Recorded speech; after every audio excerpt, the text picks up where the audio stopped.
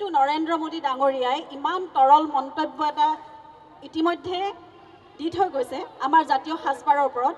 সেইদিনা তেওঁ দেখিছে তেওঁ এতিয়া ভীতিগ্ৰস্ত হৈছে আচলতে সেইকাৰণে আবুল তাবুল বকিছে।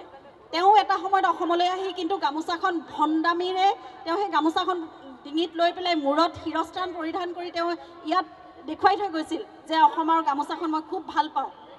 সেয়া এক ভণ্ডামীহে আছিল আচলতে। এতিয়া যিহেতু গামোচাক তেওঁ অপমান কৰিছে এতিয়া যিহেতু আমাৰ জাতীয় পোচাকক তেওঁ অপমান কৰিছে গতিকে সেয়া ভণ্ডামীৰ বাহিৰে একো নহয়। আৰু অসমৰ শিপিনীয়ে বোৱা গামোচাখনক ডিঙিত লৈ মাননীয় প্ৰধানমন্ত্ৰী ডাঙৰীয়াই আমাৰ স্বাভিমানক বিশ্ব মঞ্চত স্থান দিছে। যিখন গামোচা তেওঁক শিৰস্থান বনাই পেলাই তেওঁক পৰিধান কৰোৱা হৈছিল আৰু যিখন গামোচা তেওঁ ডিঙিটো লৈছিল সেই দুইখন গামোচাই আছিল অসমৰ বাহিৰৰ পৰা অহা গামোচা বহিৰাগত বনোৱা গামোচা। সেইখন বাহিৰত পাৱাৰ লুমত বনোৱা গামোচা সেয়া অসমৰ শিপিনীয়ে বনোৱা গামোচা নাছিল। আৰু সেয়া আমাৰ চৰকাৰেই দিছিল।